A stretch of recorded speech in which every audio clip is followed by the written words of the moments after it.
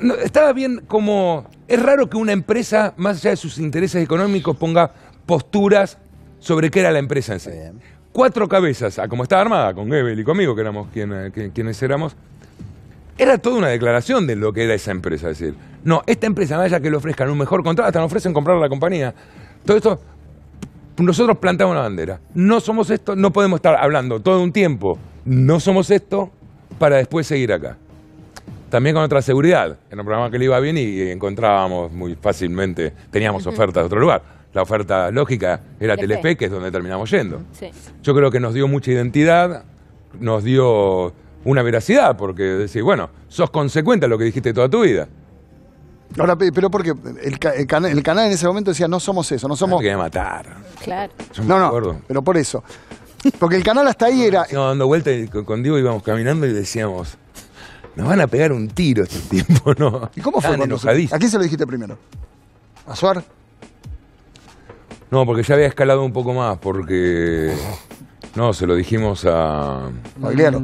a Pagliaro. Sí, y alguien más, no me acuerdo. Y la carita Pagliaro. Pero no es un tipo fácil, me parece, ¿no? No, para nada. Por eso te digo. Para, no, no, se me quedó mirando. No, fue una charla áspera.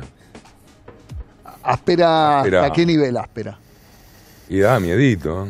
Apa. Te tiraba, que te, vos decís. te tiraba... Yo, yo hace ya muchos años, tengo, tengo- ahora más que estoy en el negocio. Pero a esa altura ya sabía cómo moverme. Nosotros teníamos eh, programas en Europa, o sea, estábamos en el negocio grande, la Habían televisión. ganado premios. ya. Habíamos ganado premios, nos iba bien. eh, habíamos. eh, era una empresa casi de 400 empleados. Sí. Eh, ya sabíamos el juego. Y sabíamos también eh, a quién estábamos enojando. Y dije, no, es una jugada. Los tipos tal vez son generosos y dicen, quédate, te compramos parte de la empresa. La gran Clarín. Claro. La grande todo. Sí, sí. Los que tienen más que El vos. que la tiene lo El que la intenta. tiene. Exactamente. Igual la tiene Clarín solo. Porque- Por ahora, quien tiene tanta guita, Clarín. sí. Eh, y dijimos, no, no, no, es, un- es otra cosa. Dice, bueno. Se había puesto.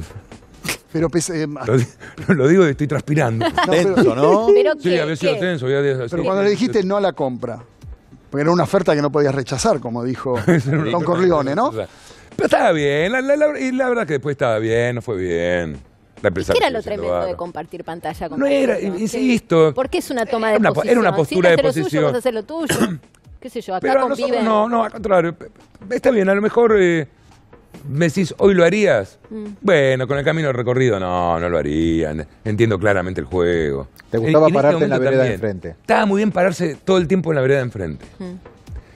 Eh, y bueno, y funcionó, y, y era la alternativa, y mucha gente se había identificado. Nosotros hemos hecho programas que eran.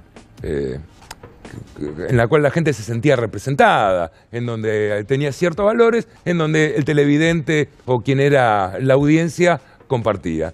Y también eso era un buen negocio para nosotros, porque eh, Ah, yo sí. siempre lo digo, No, eso sí. la tanda más cara que, que había era la tanda que, de los productos de cuatro cabezas y no eran los programas Más tal vez. Porque pasaba eso, y bueno, por un montón de cosas que creo. Entre que otras cosas, esa posición. conmigo- ¿eh? Y entre otras cosas, Entre esa otras posición. cosas, esa posición, claro. Ustedes pensaron también en eso.